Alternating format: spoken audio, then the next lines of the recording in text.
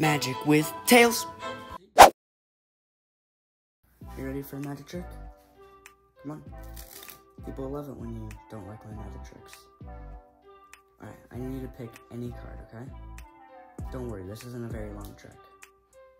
Okay, pick a card, any card. Tails? Why are you looking like that? Tails? Here, how about you just pick that card, okay? Take a look at it. You got it? Have you guys look at it. I'll leave it on the screen as well. Everyone got it? Tails? You got it, don't you? Remember it. Alright. And then we're gonna put it in the middle of the deck, just like so. Give it a few cuts like this. Okay? And some more cuts. And even more cuts, Tails. Alright. Your card is lost in the deck, okay? Are you yawning? That's so rude. I'm almost done.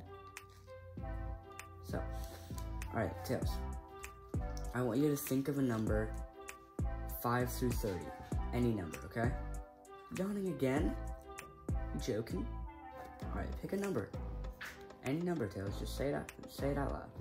Let everyone hear. Okay, you can't say numbers. We'll, we'll use your collar. What, what are your collar numbers? The first two numbers are 3 and 1. 31.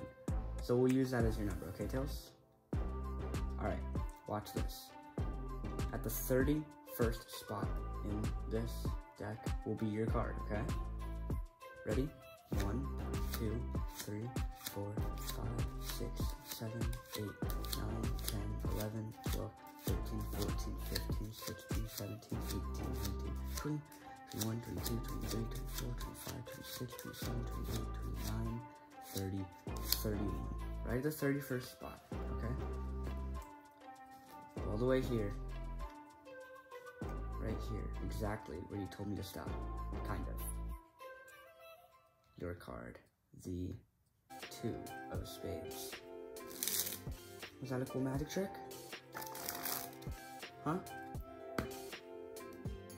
I think it was pretty cool. Wasn't it? Yeah. Magic with tails.